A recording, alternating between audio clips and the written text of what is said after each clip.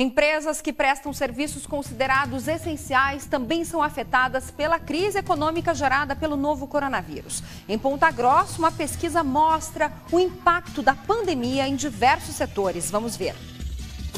Esta empresa não precisou fechar durante o distanciamento social porque é considerada serviço essencial para a construção civil, mas registrou uma queda de 60% nas vendas. O estabelecimento não demitiu nenhum dos 23 funcionários, mas reduziu salários e alguns benefícios dos colaboradores. Um levantamento feito no último mês pelo Conselho de Desenvolvimento Econômico de Ponta Grossa mostra que 12% das empresas consultadas optaram pela redução de jornada e salários. 17% dos empresários adiantaram férias e 14% suspenderam contratos de trabalho. A pesquisa desenvolvida com o Departamento de Economia da Universidade Estadual de Ponta Grossa e com a Associação Comercial e Industrial da cidade abrangeu quase 470 empresas de diversos setores 90% delas eram de pequeno porte, de microempreendedores individuais ou microempresas.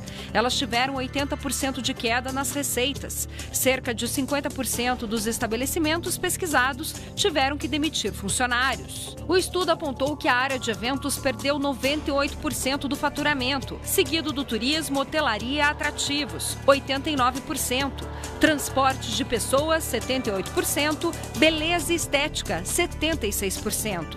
Gastronomia, bares e restaurantes, 75%. Comércio varejista, 73%.